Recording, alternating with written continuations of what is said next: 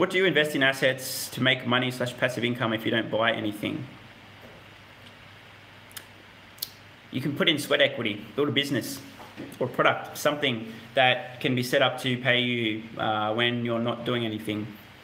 I'll give you guys an example, like just a really simple example of something, okay? A YouTube channel, if you get to a point where you can monetize, you make a video and if people are watching it in the future, even though it's tiny, tiny, tiny, you'll be getting, you know, a tiny, tiny incremental amount of income from that video every time somebody watches it.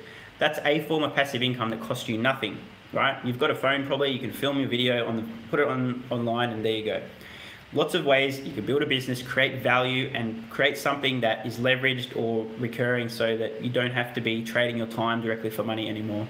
Owning real estate is another way, but obviously you need to buy that. So you're talking about passive income without buying, you just have to create something of value.